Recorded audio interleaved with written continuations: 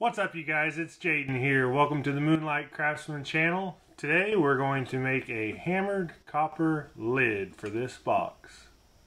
Coming up.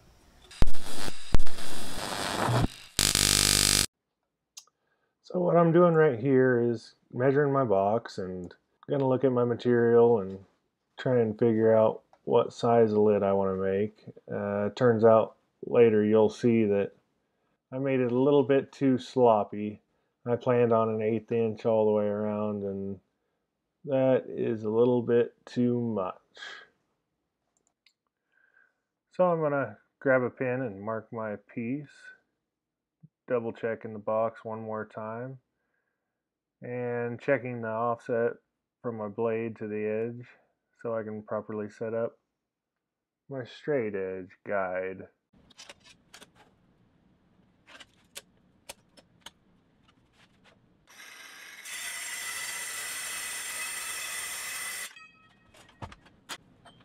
So I've got my blank out for the lid right now.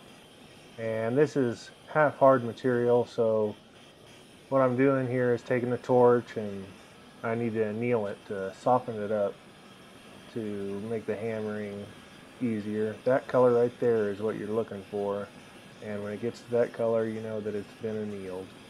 And you can go ahead and soak it straight in water and it won't harden it or anything. And so now I'm going to go ahead and start hammering over an anvil uh, to get the hammer marks. I want to leave as much, as little space in between the metal and the anvil as possible. Uh, it will make it curl up and so you want to flip the material back over every now and then and hit it with a mallet or the flat face of the metal hammer and just work your way all the way to the other edge of the metal and make sure there's a dimple everywhere. Flatten it out right now.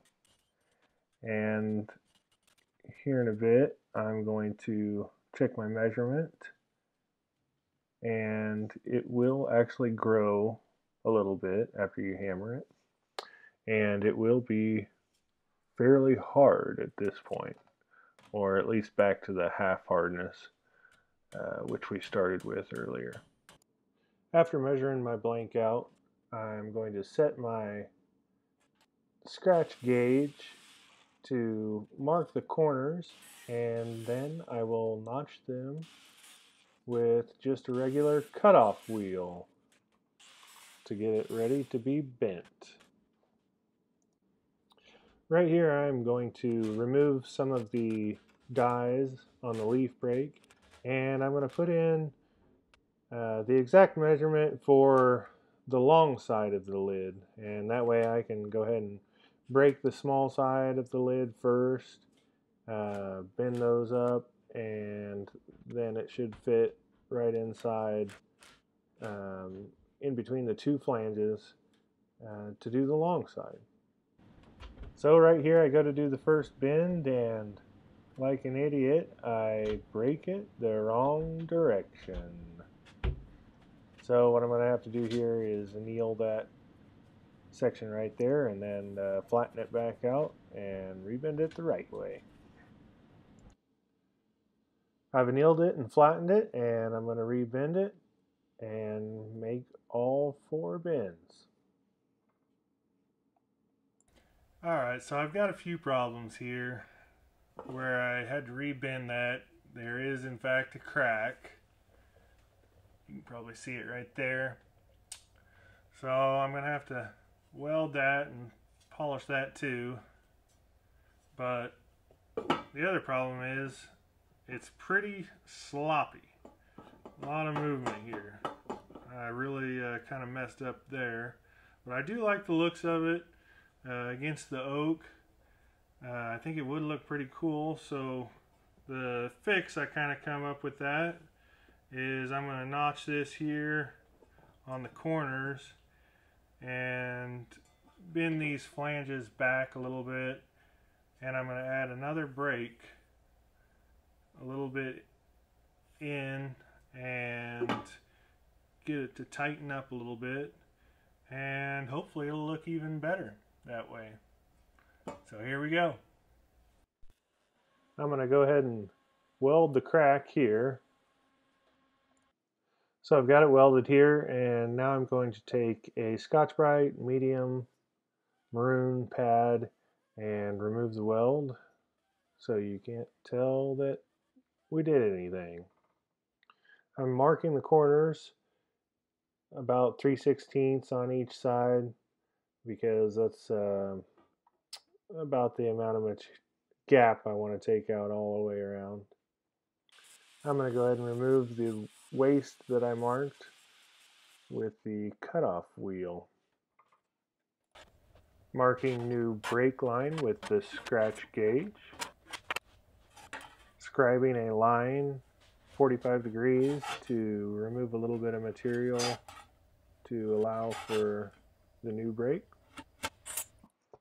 and removing that line with the cutoff wheel. Then I need to go ahead and bend back the flanges slightly because we're going to add the other brake. So instead of having the 90 degrees right here, we're going to bend this back to about 60 degrees and then add a 30 degree brake, making 90 degrees again. Alright, then setting the leaf brake back up again and sticking the material in there and making our second brake. Alright, so I'm liking the looks of this quite a bit better. I'm almost glad I messed up now because that extra bend in there makes it look a lot better. And we got it tightened up on the side so you know not a whole lot of movement. Looks a little bit better. Not looking too bad just need to weld the corners and polish those a little bit. And then we will go ahead and take off the color and then we'll uh, put a little patina on there haven't decided what what color yet but uh, we'll uh, do that after we weld these corners. So I'm welding the corners here with deoxidized uh, copper wire, 16th inch thick. For more information on that, I go a little bit more detailed in the Can You Weld Copper video that I have out. And I usually like to weld the tips of the flanges first so it doesn't melt away. And then I flip it over and weld the outside corner. And then I'm going to flip it back over and kind of fuse the inside of the corners uh, so that there's no cracks or crevices. Using the little air grinder again with a maroon Scotch-Brite conditioning disc, I'm going to go ahead and clean up those corners and make that weld disappear before we prepare it for the patina removing all the color here with the Scotch-Brite hand pad. Spraying a degreaser slash cleaner on the material and continuing to work it in with the Scotch-Brite hand pad and rinsing it off when I'm done. So now I've got it set up on these aluminum blocks. That way I can apply heat underneath it uh, for the patina. I'm going to wipe it off with acetone uh, one time to get a final clean before we uh, apply the torch. So then I'm going to go ahead and apply the torch and get it up to temperature and then start applying by spray bottle with the uh, with a ferric nitrate uh, ferric chloride solution. And this gives it a rusty type color and uh, I just kind of keep on applying a little bit and trying to keep it at the right temperature where it just kind of sizzles a little bit and apply a little bit more and more until I until I'm happy with the color that it turns out and then I dip it in water uh, immediately to lock in that color.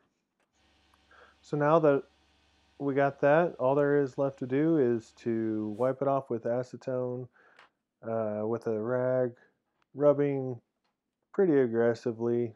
Make sure we get any loose um, ferric nitrate, ferric chloride off there. And then I'm going to apply a lacquer on there, uh, a satin finish, gloss finish from uh, Peacock Laboratories.